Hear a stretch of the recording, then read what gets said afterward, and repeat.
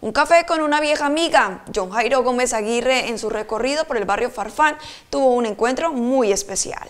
El candidato de la gente para la gente que se visiona en la alcaldía de Tuluá para el periodo 2020-2023, durante estos días ha recorrido diferentes sectores del centro del valle. En esta ocasión visitó el barrio Farfán, un sector humilde y de habitantes nobles que lo recibieron con alegría. En esta visita, John Jairo Gómez Aguirre se encontró con diferentes amigos de su infancia. Hacía años no estaba esta casa, Felina. Qué bendición. No cambia la cara, pues. ¿Venía a tomar café, doctor? Sí, hacía tiempo de cuánto venía, no venía a su casa. Ah, no, pues usted no.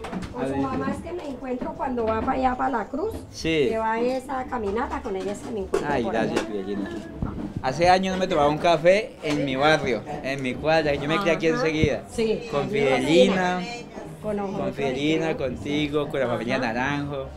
Qué honor estar aquí en tu casa. Ah, bueno. Y me compromete a que ahora que Dios me ponga alcalde, hacerlo muy, muy bien. Ajá. Por nuestra generación, por la ciudad y por nuestro barrio. Ajá. Gracias. Bueno. Con esta visita, John Jairo vuelve a dar de qué hablar y en esta ocasión por sus actos. El candidato mostró su sencillez y humildad y sobre todo que no olvida de dónde viene.